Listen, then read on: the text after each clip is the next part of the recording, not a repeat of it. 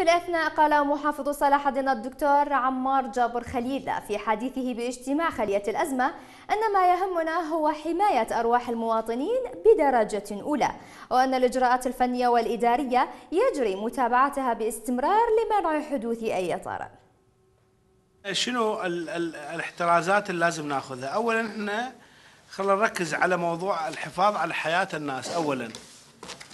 لأن هذا القضية إذا هي ممتلكات موجودة بحوض النهر وراح يصعد عليها المي فهذه قضيه خارج إرادتنا يعني وخارج إمكانياتنا. بس نبقى نحافظ على الناس ونوعيهم إنه يطلعون من منطقة الخطر. الأمطار هذه المرة أكو تغيير مناخي كبير جدا بحيث ما نقدر إحنا هسه لا أح ما حيقدر يتوقع شنو شنو الموضوع وش قد راح يجي. المشكلة عندنا وين؟ في آه، المنطقة اللي هي المنطقة الخطرة اللي هي آه، منطقة السداد. وطلبنا من رئيس الوزراء اليوم بالتقرير كامل إنه يقدم لنا يعني يقوم بصيانه السداد على الامتداد النهر.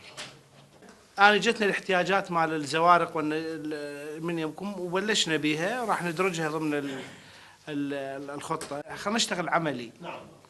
يعني أنا أريد مثلا أكو ناس عندهم إحنا هسه آلياتنا محددة. أريد أكو ناس يتفقون وياهم طوارئ. إنه أنت يابا إذا صار طارئ جيب آلياتك وجيب وتعال اشتغل. مباشر يعني. ويا مهندس. يعني يكون standby هذه جلسة خليه الأزمة هم مفتوحة يعني. إحنا ما عندنا مشكلة. إنه إحنا نستمر نتابع الموضوع.